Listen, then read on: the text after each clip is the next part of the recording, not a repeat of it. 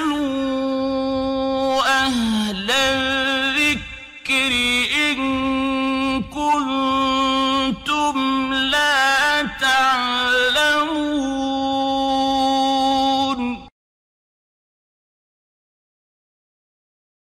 রহমতুল্লাহ বারাকাত আমাদের যখন কেউ বলে দোয়া করো তখন আমরা ফি আমানিল্লাহ বলি এই কথাটা মানে ফি আমানিল্লাহ সব ক্ষেত্রে বলা ঠিক না যদিও বিদাত নয়। বিদাত হচ্ছে যে অজায়গায় প্রয়োগ করবেন। আমি আপনার সঙ্গে কথা বলছি বলছি আমার বিশাল পরীক্ষা চলছে, আল্লাহ তালা সংসারে সুখ শান্তি দেয় না, আর অভাব যায় না। বলতে বলতে বলছি আপনাকে যে, আপা আমার জন্য দোয়া করো। তখন আপনি বলছেন, ফি আমানিল্লাহ।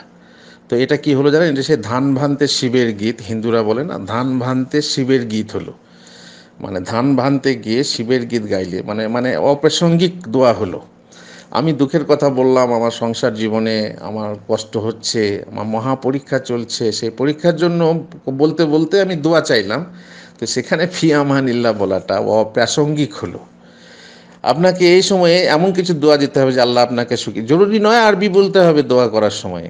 আপনি আল্লাহ আপনাকে সুখী করুন, হুজুর আল্লাহ আপনাকে পরীক্ষায় পাশ করুন, পশ পাশ করান বা আপনি যেন আল্লাহর কাছে সবের আশা রাখেন ইনশাল্লাহ আল্লাহ আপনাকে সব দেবে, আল্লাহ আপনাকে সুখ শান্তি দেখ ইত্যাদি। এই বলে দোয়া করবেন। হ্যাঁ যদি কেউ যাচ্ছে সফরে, তাহলে দেখা সাক্ষাৎ হলো। তাহলে আসি, আপা যাচ্ছি তাহলে। তখন আপনি বললেন হ্যাঁ হ্যাঁ যাও, যান ভাই, যান, ফি আমানিল্লাহ।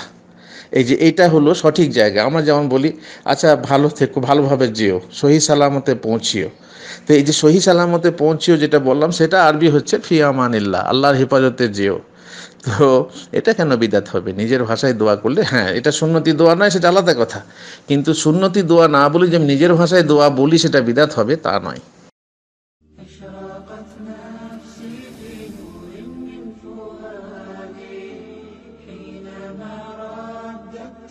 رب العباد